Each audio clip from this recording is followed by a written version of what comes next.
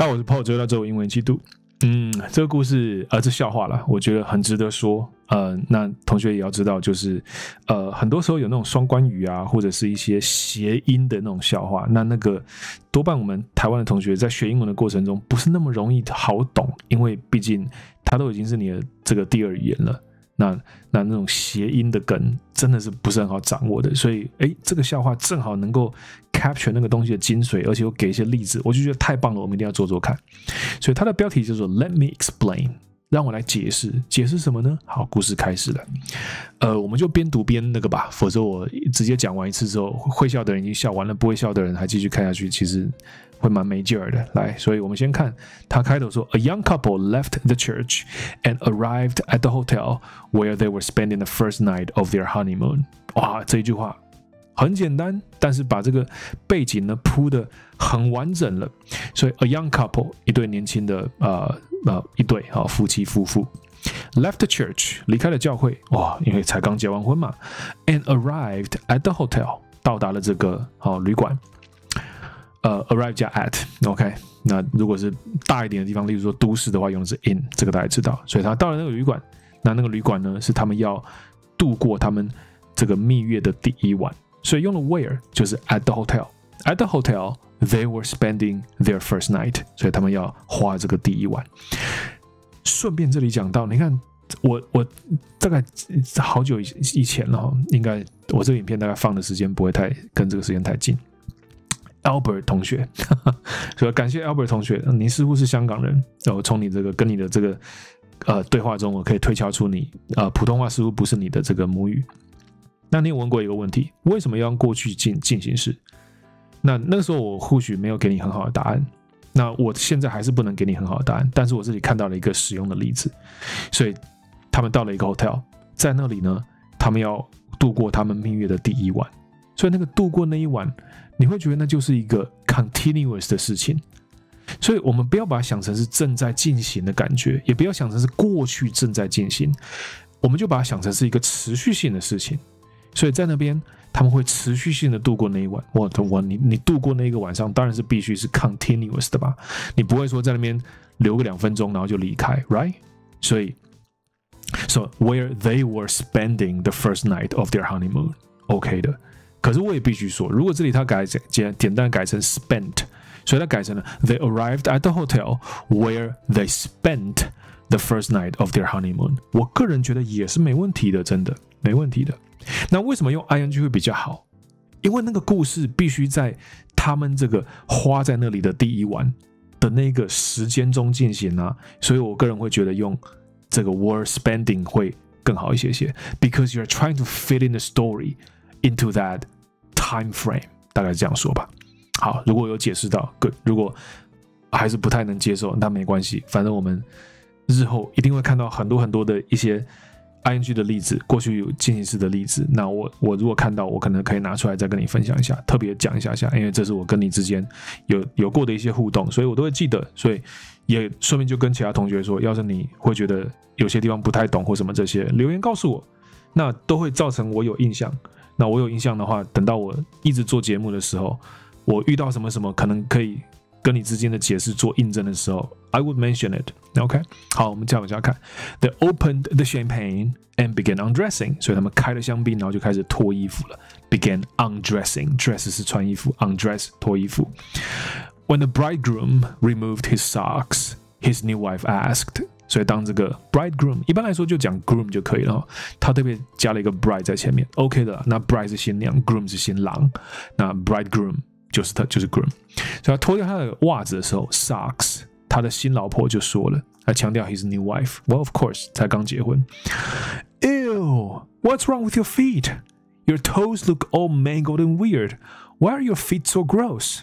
所以这个 ill 就是哈，外国的小朋友从小到大，你只要看到恶心的东西，你的那种第一个 gut feeling 就会是 ill，OK？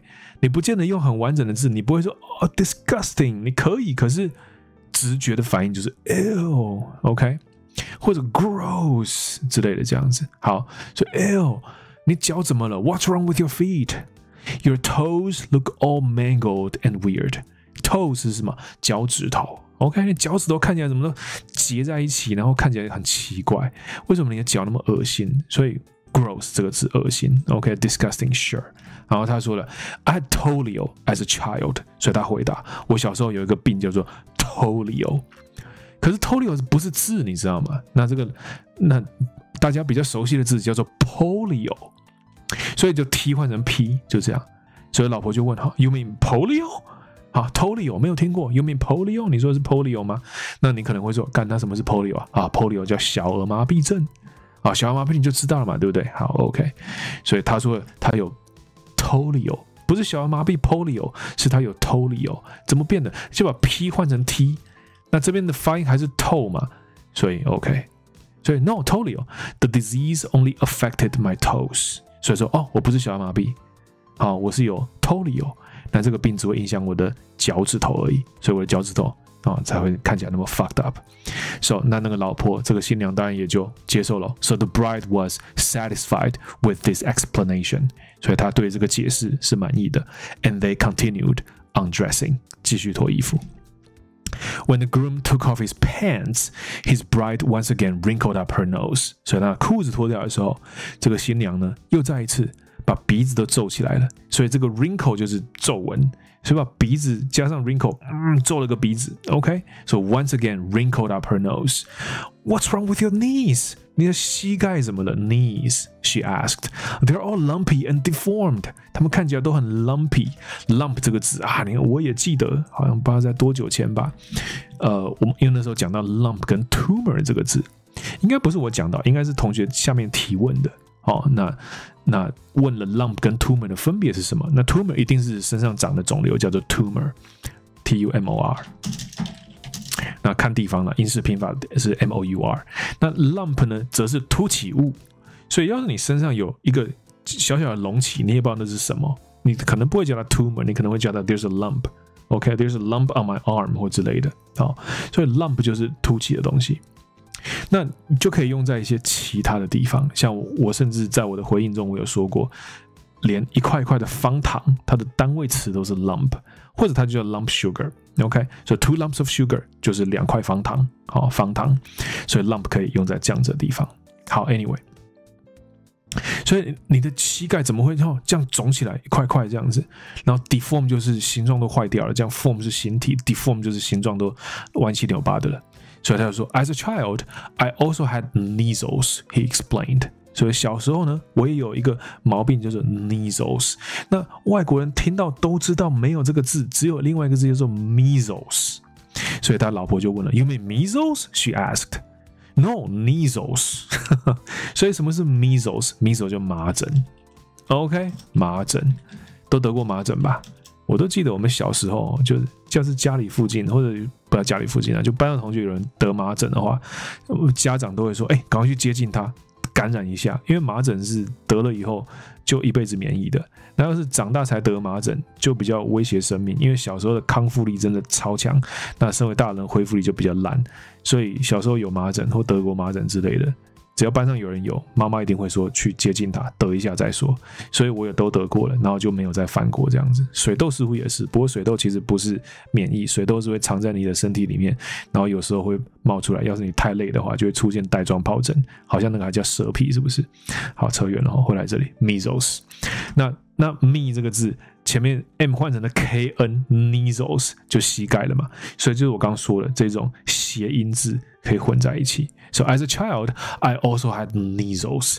You mean measles? No, measles. It was a strange illness that only affected my knees. 所以哈，不是哦，是 measles，只会影响膝盖的。那这个老婆也只好接受了。So the new bride had to be satisfied with this answer. 其实你大概知道这故事怎么发展下去了。所以脚趾有问题啊，Tolio；膝盖有问题，knees，那你就会想，那剩下那个地方会是什么问题呢？所以接下来，as the undressing continued，所以说继续脱衣服，her husband at last removed his underwear，最后她老公终于脱了他的内裤了。然后他老他老婆这就说，哎，不要说，你不要告诉我，我来猜，Don't tell me，she said，Let me guess，small cocks。